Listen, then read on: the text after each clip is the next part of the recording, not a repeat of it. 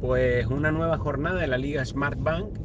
Eh, jugado el partido de esta tarde, tardecita, tarde-noche, en el Heliodoro Rodríguez López con el resultado de Club Deportivo Tenerife 0, Fuenlabrada 1, gol de Iván Salvador.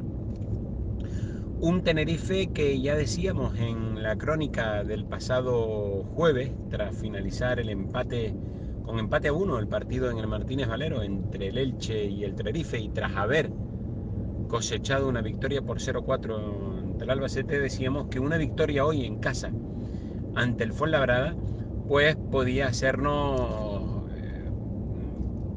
podía colocarnos en puestos para mirar hacia arriba y, mirar pues cotas mayores, aunque solo fuera la jornada 6 o 7 del campeonato, eh, ya estábamos hablando de intentar colocarnos entre los mejores de la clasificación. Eh, había mucha ilusión por el partido de hoy, porque independientemente de que el Fuenlabrada había hecho o está haciendo un comienzo de liga espectacular, es un equipo que está recién ascendido a segunda división y eh, después de los dos partidos buenos que habíamos realizado a domicilio ante Albacete y el Elche, estábamos, o parte de la afición estaba plenamente convencida de que hoy pues se podía ganar el partido. Y esa plenitud de convencimiento fue lo que le pasó al Tenerife en la primera parte, donde creo que el Tenerife lo que le pasó fue eh, que se precipitó en todas y cada una de las jugadas eh, que realizó. Era como que queríamos ganar el partido desde el minuto uno. Eh, estábamos bien, atrás, medianamente, centro del campo, pero había mucha precipitación, sobre todo cuando el balón pasaba del centro del campo en busca de la portería rival. Teníamos ansias por ganar. Eh, decía ahora Aritz López Garay en rueda de prensa que le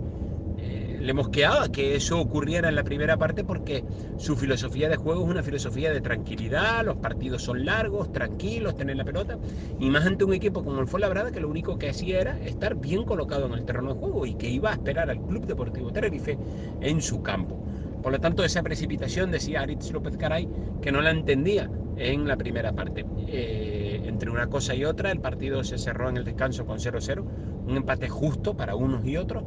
y el Tenerife arranca la segunda parte encerrando a el Fuenlabrada en su área, totalmente. Eh, era, era, una llegada tras otra, sin grandes disparos, sin grandísimas ocasiones de gol, pero sí cada vez estaba metiendo el Club Deportivo de Tenerife cada vez más en el área al Fuenlabrada. Y cuando más seguros teníamos la idea de que el gol podía llegar, cuando saboreábamos prácticamente la miel de nuestro gol, un fallo defensivo hizo que Iván Salvador se plantara ante Ortolá y lo batiera haciendo el 0-1 y definitivo gol en el marcador. Eh, a partir de ese momento al Tenerife le costó un mundo volver a eh, encerrar al Fuenlabrada en su área, ya se perdió tiempo, normal, juego normal por parte del conjunto visitante, eh, cada falta era un mundo para sacarla y cuando nos dimos cuenta el árbitro ya estaba añadiendo los cinco minutos de tiempo y, y poco más había, había por hacer. Una, una, expulsión, hay que señalar por parte del Club Deportivo Tenerife, expulsión de Mazán, que también en rueda de prensa Aritz López Caray no la entendía, puesto que decía que no sabe qué le pudo haber dicho al árbitro cuando Mazán prácticamente lo único que dice es buenos días en español, que nunca lo ha oído decir nada en español ni nada, por lo tanto le asombraba